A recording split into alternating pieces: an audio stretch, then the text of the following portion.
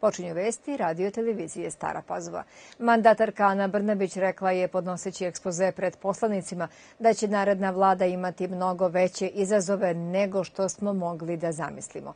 Posle pandemije mislili smo da dolaze bolji dani, ali dogodio se rat na evropskom kontinentu. Svet klizi u treći svetski rat, U ovakvom svetu Srbija mora da se pozicionira i sačuva stabilnost. To je glavni zadatak, rekla je Brnabićeva i dodala da kao što se prošla vlada bavila zdravstvom, sada mora da se bavi energentima. Kaže da Srbija nastavlja evropski put, ali i traži neselektivno poštovanje međunarodnog prava. Poslanici Skupštine Srbije posle ekspozea počeli su raspravu o predlogu novog kabineta.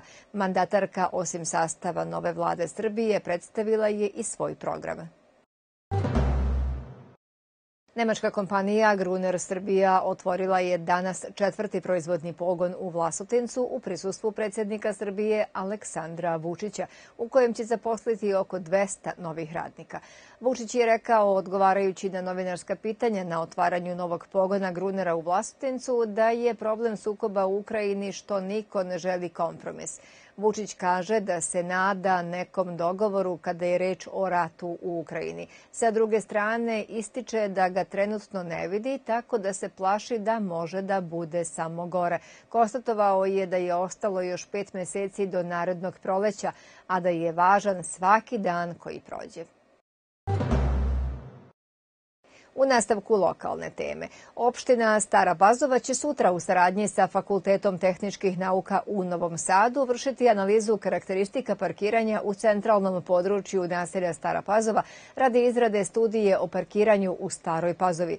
Predmetno istraživanje podrazumevaće dva segmenta i to evidenciju zadržavanja vozila na prostoru parkiranja i anketiranje vozača, korisnika parkirališta. Istraživanje će raditi učenici treće i četvrte godine srednje srednje ekonomsko-trgovinske škole Vuk Karadžić i učenici tehničke škole iz Stare Pazove. Brojači će vršiti evidenciju zadržavanja vozila na prostoru za parkiranje i anketiranje korisnika parking prostora koje će sprovesti na 19 istraživačkih pozicija u samom centru Stare Pazove i u okolnim ulicama. Spisak svih lokacija gde će se raditi istraživanje možete videti na našem sajtu rtvstarapazova.rs. Oktobar je mesec širenja svesti o ahodroplaziji i osobama niskog rasta. Predstavnici roditelja i zaposleni u predškolskoj ustanovi Radost, odnosno objekta Bubamara u Belegišu, tim povodom učestvovaće na centralnoj republičkoj manifestaciji u Svrljigu, a svoj doprinos uvažavanju različitosti daće i organizovanjem radionice pod nazivom I isti i različiti za svu decu i roditelje, koja će biti organizovana sutra, a sa ciljem formiranja zajednice koja podržava svako dete. Predškolska ustanova Radost uvažava prava sve dece na obrazovanje kroz inkluzivnu praksu, uvažavanjem rodne, kulturne, zdravstvene i svake druge različitosti, a posebnu pažnju posvećuje uključivanju dece iz osetljivih grupa, ističe Sandra Sarapa, direktorka predškolske ustanove Radost iz Novih Banovaca. U ovoj predškolskoj ustanovi trenutno boravi desetoro dece sa smetnjama u razvoju koja imaju ličnog pratioca u vrtiću, mimo toga imaju još jedan broj dece koja takođe imaju potrebu da dobiju neku dodatnu podršku. Jana Garski, akademski slikar iz Stare Pazove, izlaže od sinoć u galeriji Mira Brtka u Staroj Pazovi kolaže nastale poslednjih 15 godina.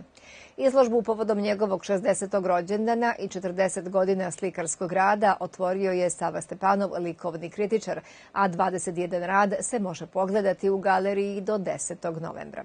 Agarski je umetnik koji uvek kreće od prirode. Ona je osnova svega i on se trudi da slikajući prirodu dođe do prirodne slike, naglasio je Sava Stepanov.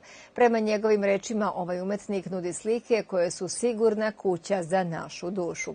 Jana Garski se bavi crtežom, slikanjem, grafikom, mozaikom, a svojim radovima ilustrovao je knjige i časopise za kulturu. Učesnik je brojnih kolektivnih izložbi, izlagao je i samostalno ne samo u Srbiji, već i u inostranstvu i nosilac je nekoliko značajnih nagrada.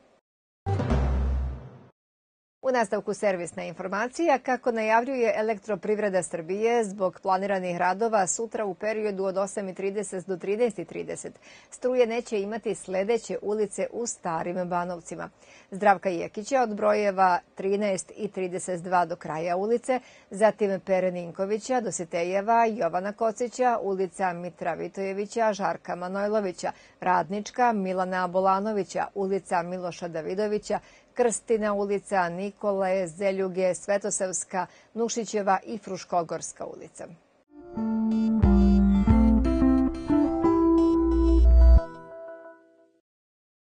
Sutra ujutro mestimično magla i niska oblačnost koja će se ponegde po kotlinama zadržati prepodne. U toku dana pretežno sunčano i toplo, posle podne i uveče na severu Srbije umereno na oblačenje, ponegde s kratkotrajnom kišom. Vetar slab i umeren severozapadni.